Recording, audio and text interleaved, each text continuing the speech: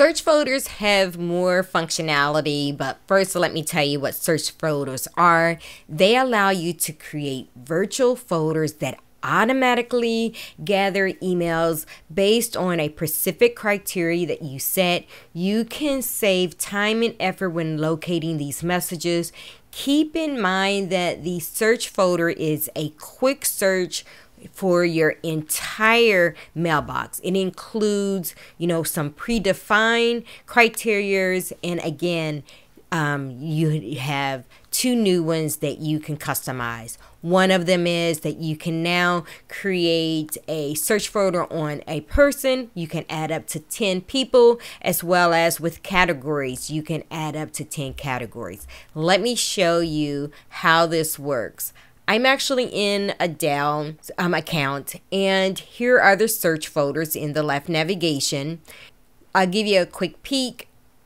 Here, this is searching by people. Everything by Nestor is available here. Notice these labels, they're showing you where that email is stored. So take a look at that. Again, here it is by categories. Notice that I have multiple categories added.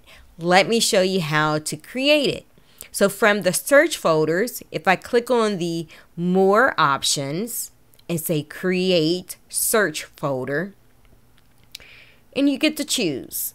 You can choose what you want. In this case, I'm just going to say by Pacific um, people. I give it a name. And I begin adding my people, internal and external. So that's great. And it give you a counter of the number of people. Same thing with categories. I want to show you with categories. Let's edit this search folder. Notice that I've added my categories here and you can just choose the ones that you want.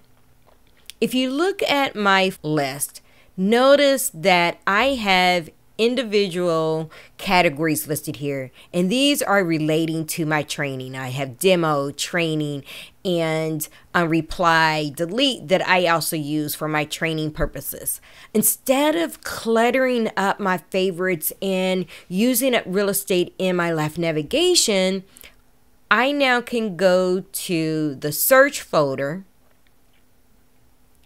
and add this to my favorites. There it is. Now I can go and remove these.